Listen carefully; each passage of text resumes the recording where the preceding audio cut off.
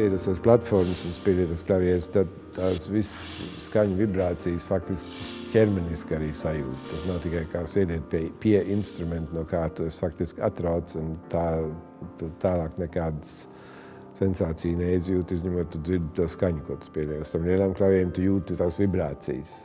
Īpaši, ka basu spēlē un kārtīgi taustiņos, tā teikt, ar jaudu. Tev tā sajūta, ka tu sēdi instrumentā iekšā, nevis pie instrumenta vai uz instrumenta.